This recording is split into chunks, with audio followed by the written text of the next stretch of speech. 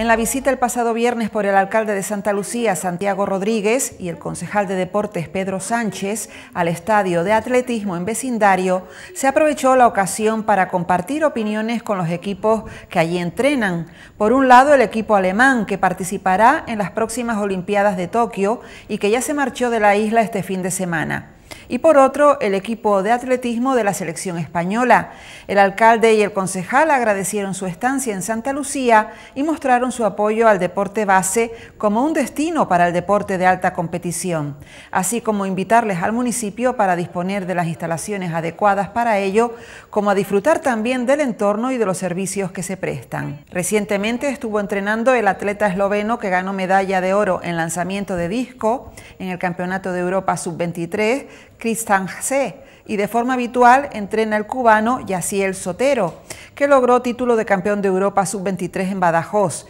y que lleva afincado en vecindario desde los 14 años. Estas que están remodeladas, recientemente remodeladas, es nuestro santo y seña y nuestro orgullo para que gente como ustedes puedan venir aquí y disfrutarla. Tenemos un municipio que de Costa Cumbre es extraordinario, es excepcional y espero que se lleven una muy buena impresión de aquí justo y suficiente para que vuelvan. Así que muchas gracias por estar aquí y les deseo los mejores éxitos en las futuras competiciones. Muchas gracias. Y con la inauguración de una maravillosa exposición fotográfica de José Luis Marrero, se presentó uno de los primeros actos que conmemoran el Día Internacional de la Danza. Fue el pasado viernes en el Ateneo de Vecindario, donde María Olarte, la profesora de la Escuela Municipal de Danza, acompañada del concejal Francisco García y de algunas personas concernientes al mundo de la danza, pues celebraron un acto muy especial. Por ello, este año, y con la ayuda de José Luis Marrero Medina, hemos querido traeros hoy esta hermosa galería fotográfica, donde se ha logrado sacar a los bailarines de su zona de confort y transportarlos a lugares y momentos mágicos. Creo que sin la cultura no somos nada. Una población que carezca de cultura eh, es una población que no avanza. Y gracias a la danza yo he conseguido alcanzar metas que, pues como les decía, que no imaginaba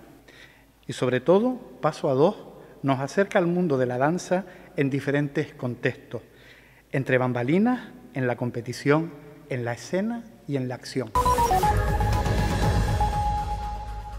Y el SPAL nos trajo este fin de semana una interesante obra teatral de la compañía Delirium Teatro, una obra de Juan Carlos Rubio basada en hechos reales, ya que en abril de 2005 un grupo de estadounidenses armados concibieron el proyecto Minuteman para impedir la travesía de indocumentados por la frontera de Estados Unidos y México. Arizona es un magnífico texto que reflexiona sobre las fronteras, la migración, la violencia de género, la estupidez humana y los límites de su manipulación, además de ser un tragicómico retrato del alma de dos seres humanos perdidos en el desierto. Comedia entretenida y divertida, obra que nos lleva a la reflexión sobre la situación actual de los muros y fronteras que dividen y empobrecen a la humanidad.